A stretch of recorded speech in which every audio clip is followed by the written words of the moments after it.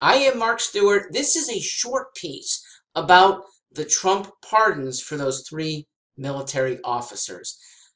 Short because I generally don't talk foreign policy, and I don't even consider this to be foreign policy. This is really domestic management, the management that the commander in chief does for the military.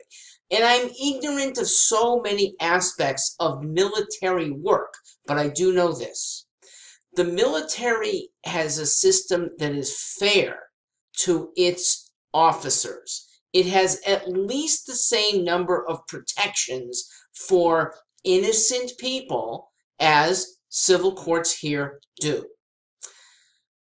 Trump has circumvented the system whereby a fair tribunal is penalizing these people. And men in their own units testified against them.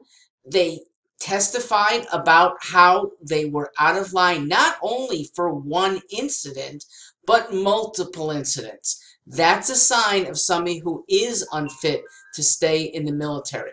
Now, whether to stay in prison for 10 years or more, that might be too harsh of a punishment. But that's where diplomacy, I think, has a place. And a president who, whether out of feelings or getting some more political vapors from being on the side of some one military guy, could have negotiated. Certainly, he could have said, Look, I'm going to threaten a pardon. You should be doing this on your own without my having to take that drastic step. I think you would end up with the win win of people doing their time, but not an excessive amount. Restoring them to a good status. Because right now, their cases are back in the public, in the limelight over and over and over again. So, yes, free, but with excoriation that they're going to have a hard time living down. There are better ways to have ended this. Right now, this is ongoing, and it's going to, in the long run, hurt military discipline. You need the backing of your military. And the Trump Pentagon did not want these pardons. Most of the people in the same command as each of three, these three servicemen did not believe that they should be exculpated.